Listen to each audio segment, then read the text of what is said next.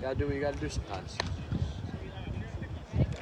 So we have Marcos, Mateo, then Adam up for RB. Let's see if these guys can get us started. Second inning.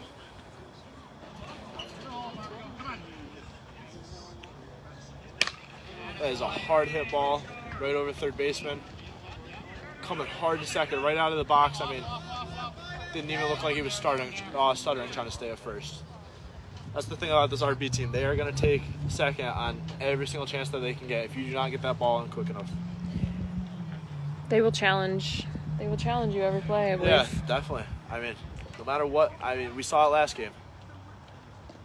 Whether it's uh, running around trying to make you throw the ball around and stuff, I mean, I think they're 0 for 3 on rundowns, uh, DQ is.